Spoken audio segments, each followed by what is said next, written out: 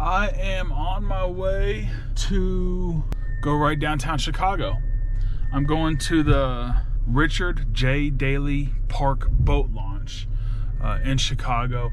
We'll end up putting a um, the address in the description if you guys ever want to ride downtown Chicago. Um, it's a little bit more of a ride than some of the other ramps, but I like to kind of explore, think about going down the river the other way a little bit maybe also. So anyway, it's been raining all night, supposed to be done now. We'll see how that works. So check out this video, hope you guys like it. Uh, if you do, hit like and um, make sure to subscribe to check out more stuff with the new Kawasaki and all of our adventures and fun stuff and dumb stuff. Check this out. All right, I'm out here getting ready to head off to uh, downtown Chicago. And uh, it almost feels like my maiden voyage because I only got five hours on here before it crashed. I like that. Before it crashed. So I'm on my way out and uh, hope you guys enjoy it.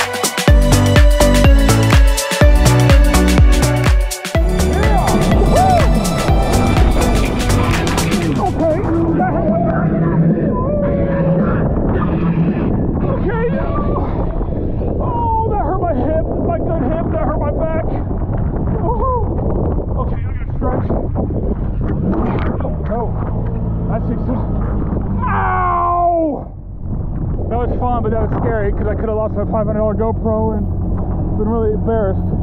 Here, here comes some more fun. Ah.